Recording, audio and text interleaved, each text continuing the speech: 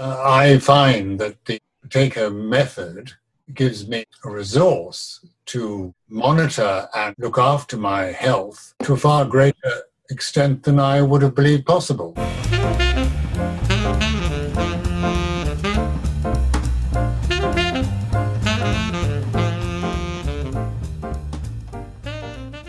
Now, unless I were to sustain a broken limb or catch some dreadful infection, I would be reluctant to go to the doctor.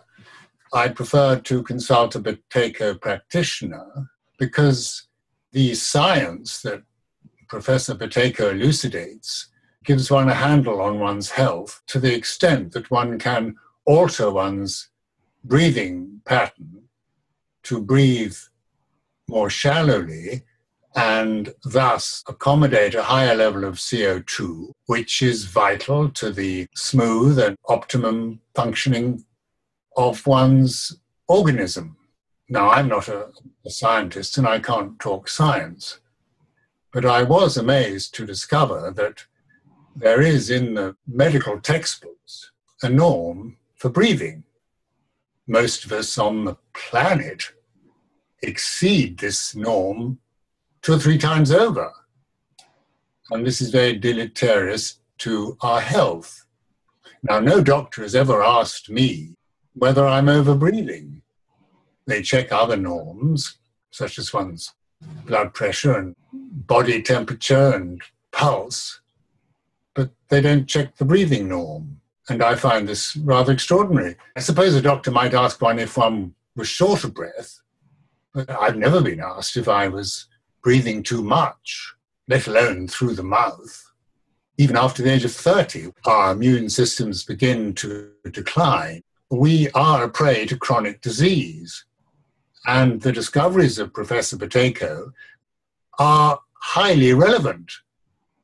And it astonishes me that the National Health Service in Britain doesn't take the matter of our breathing more seriously. It is the one thing we do most of, and without which we'd be dead. We do it 20 or 30,000 times a day. Now, surely we should accept the possibility that it can go wrong.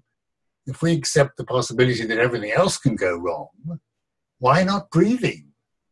Professor Buteyko points out how it goes wrong and what we can do to put it right and I would recommend anyone to study his findings very carefully. He was a great man. It is difficult talking about the Buteyko method to people. They may express uh, an interest, but they don't think it relates to them. Now, this is completely understandable. If someone comes up to me and says, I've got this fantastic diet or this fantastic exercise regime, and you should try it. One may be interested in hearing about it, but one doesn't think it applies to oneself.